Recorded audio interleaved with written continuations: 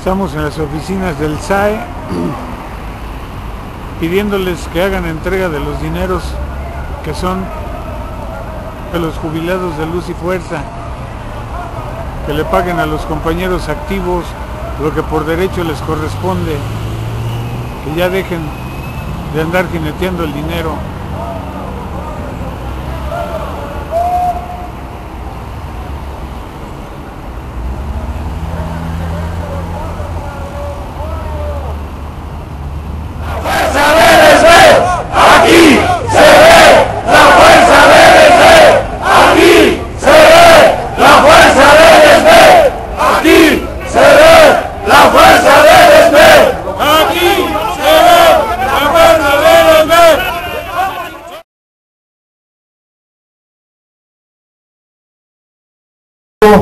A estos funcionarios que ya era necesario que estuviéramos aquí compañeros porque la realidad estos delincuentes de cuello blanco han abusado han abusado del proceso de congelamiento jurídico del que somos víctimas el sindicato mexicano de electricistas compañeros. Esta gente son, digo que son delincuentes de cuello blanco porque han engañado a compañeros haciendo trámites personalizados con respecto a la cláusula 95, a la 98, a la 64. Y eso es no tener madre, compañeros. Porque es no tener madre tener a los deudos de un fallecido en la incertidumbre. Es no tener madre tener a muchas familias en la incertidumbre de los derechos que, que tenemos contractualmente. Pero no esperábamos menos de este gobierno este gobierno que ya nos queda muy claro al nivel que estamos en esta lucha, que es un ataque frontal hacia todos los trabajadores. Y hay de aquel que todavía piense que a él no le va a pasar nada. Y lo digo por todos los sindicatos, y lo digo por todos los trabajadores de este país, porque van por todas las contrataciones colectivas, van por todos los derechos de los trabajadores, aunque no sean contrataciones colectivas van a agraviarnos en todos lados. Es la guerra total hacia el pueblo trabajador de México. Y no se lo vamos a permitir a Felipe Calderón, compañeros. ¿O sí se lo vamos a permitir? Necesitamos esos 18 mil hombres dignos que van a ser elevados a la calidad de héroes del movimiento obrero, los que están en resistencia. Un aplauso y reconocimiento para ellos, compañeros porque se necesitan muchos tamaños para resistir una familia y están en la lucha todavía. Ah, porque hay dos clases de, de liquidados y hay que decirlo, compañero. Hay liquidados que pudiéramos decir que por su necesidad están ahí y andan viendo cómo le hacen.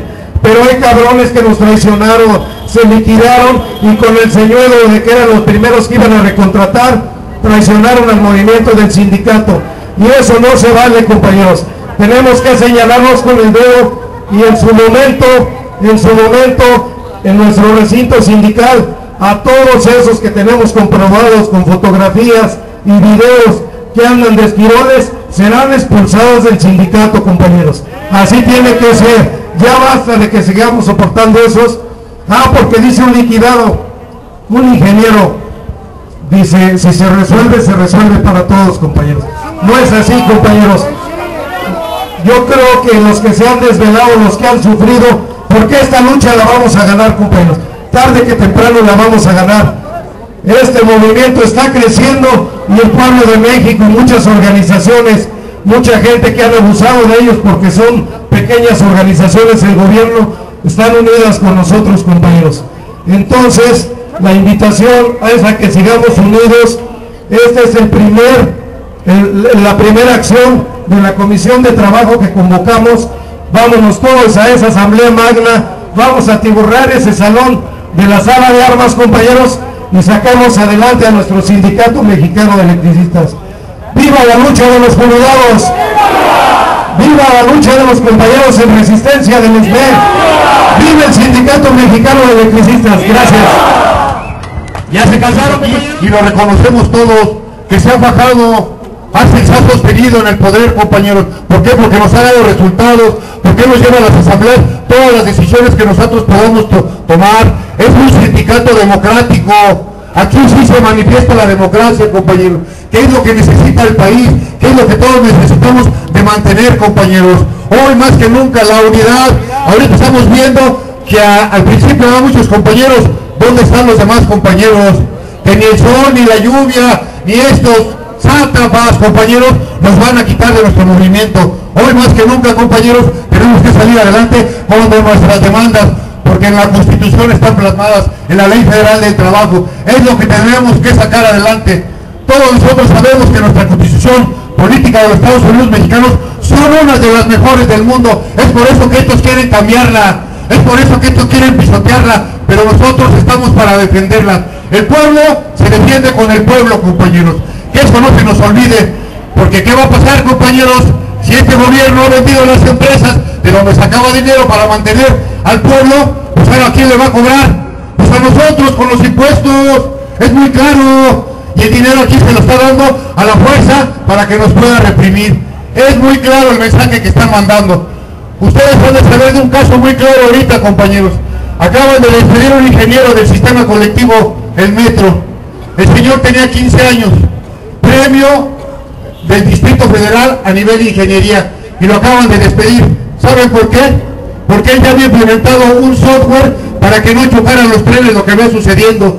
Este software se lo estaban pagando a Francia, compañeros. Pero como ese buen mexicano, este buen estudioso, les pega en sus negocios, lo corren con la mano en la cintura porque dicen que su puesto acaba de desaparecer. Vean nada más, en frecuencia laboral estuvo el compañero este del metro y la verdad hay que estar manifestando qué mensaje nos da el gobierno. Aún así, con que estamos estudiados, con que tenemos una maestría, un doctorado, de todas maneras nos corre, compañeros. Es por eso que muchos queremos que caiga este mal gobierno. ¡Que viva el movimiento, compañeros! ¡Que viva México! ¡Que viva el Sindicato Mexicano de Electricistas! ¡Gracias! Muy bien, muy bien. Compañeros de la dirección que en estos momentos están llevando a cabo mítines en diferentes partes.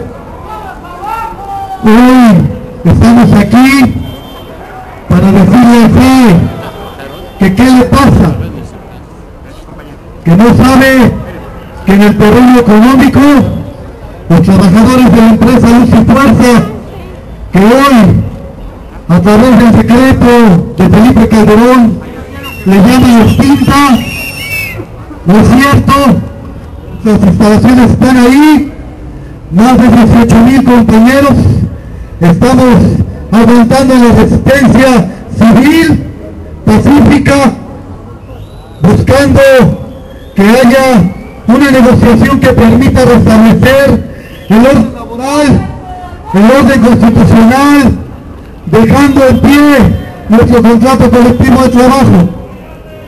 Por eso estamos aquí para decirle a FAE, efectivamente, no venimos a pedir que nos regalen nada, venimos a exigir que cada año en la empresa, a través de la mano de obra calificada de los trabajadores, se incorporaban a Hacienda más de 50 mil millones de pesos, que los compañeros jubilados, con todo y prestaciones, en la aplicación no representaron más de 10 mil millones de pesos, que los trabajadores activos, aún con el cumplimiento del contrato en su totalidad, no representábamos más de 9 mil millones de pesos.